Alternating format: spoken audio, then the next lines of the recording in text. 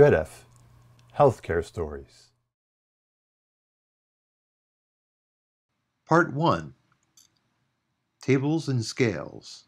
My name is Alice Wong, and I live in San Francisco. There's one area that I'm very bad about are um, getting routine public exams. So this is a women's health practice, and they do not have a single adjustable height exam table. I'm not getting regular public exams because of this hassle. My name's Larry Voss. I uh, live in Darien, Illinois, suburb, suburb of Chicago. I had a lot of discomfort in my abdomen. Uh, it was diagnosed originally as a bowel obstruction, and it was recommended by him that I have an MRI. But when I went there, we found out that there was no way that physically they could get me as a wheelchair user and a vent user onto the exam, you know, table that they used for the MRI, and they didn't have Hoyer lift or any kind of other ways of giving me access to that equipment. So finally, we did get a call from the nurse that she had found an accessible facility. Uh, this took about nine months in total. And when the scan was done, the MRI was done, they found that what had originally been a much smaller uh, growth that they detected had become almost double the size. My name is Francis DeLoach. My doctor's office, unfortunately, is not that wheelchair accessible. The exam tables, forget it. I have to literally be picked up to put put me either on the table or off the table. I need the examining the examining tables in order for me to transfer and now myself. I need them to be able to move up and down.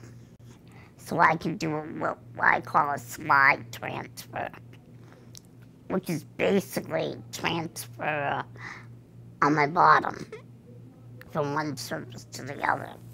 If they go and pick me up to put me on an exam table, and if they don't do it right, or listen to me so I can tell them how to do it, I will end up breaking a bone.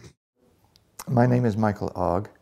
I live here in Princeton Junction, New Jersey. Just before I was hospitalized at the uh, doctor who examined me and then uh, sent me to hospital, again in his doctor's office, he had an examination table, uh, but no transfer equipment.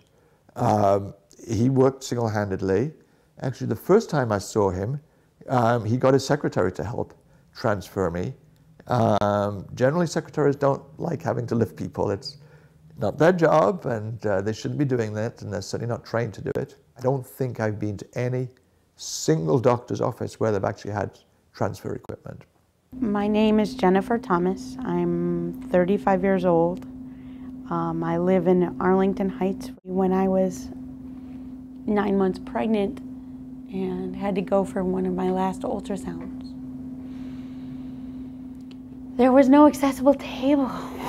really can't, can barely get up to the desk to check in and somebody says, oh, oh,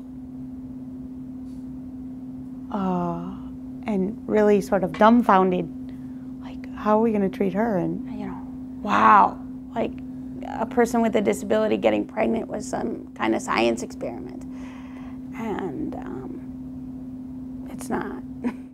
My name is Mary Delgado, and I live here in Chicago. I went five years without a pap smear because I could no longer get up on the table. So I told my doctor I need a pap smear. She said, "Oh, you know, you do need a pap smear." And then and then she said, "I said I need I need one where the table's low so I can I can scoot over there." She said, "That's a great idea. Find one."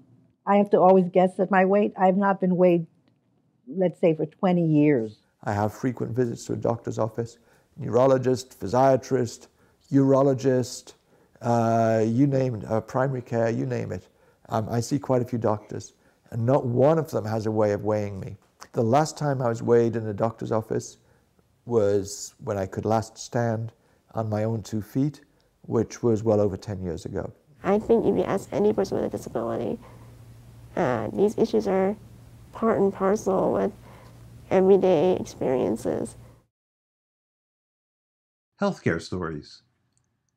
Made possible with generous support from the Special Hope Foundation and the Manuel D. and Rhoda Mayerson Foundation. For more information, visit dredf.org slash healthcare dash stories. This work is licensed under a Creative Commons Attribution, Non-Commercial, Share Alike 3.0 Unported license.